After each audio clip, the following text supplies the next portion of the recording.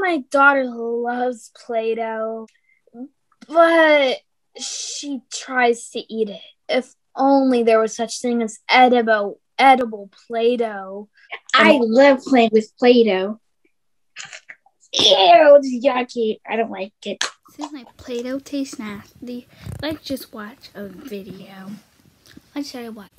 Let's let's Ryan. Come on. Oh, oh, it's an ad.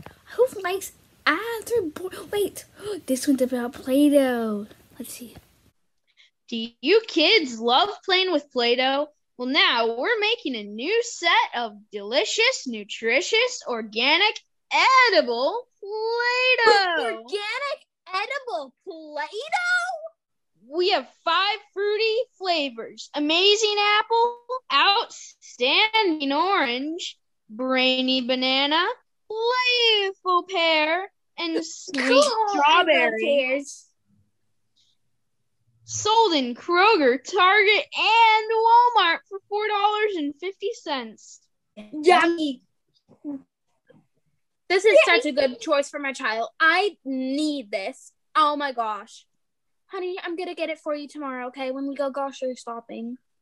Yay, Mom. Thank you. You're welcome. Please.